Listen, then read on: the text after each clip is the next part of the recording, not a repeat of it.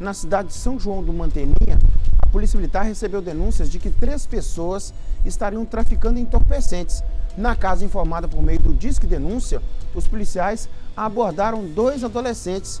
Foram realizadas buscas e um dos menores indi é, indicou né, um local é, de uma sacola com material ilícito. 10 buchas de maconha e a quantia de 125 reais em dinheiro. Isso foi localizado, né? Diante dos fatos, a dupla foi conduzida para o Conselho Tutelar e também para a Delegacia é, de Polícia Civil de Governador Valadares, né? Para as chamadas providências de praxe. É para todo lado, né? São João do Manteninha, para toda cidade, né?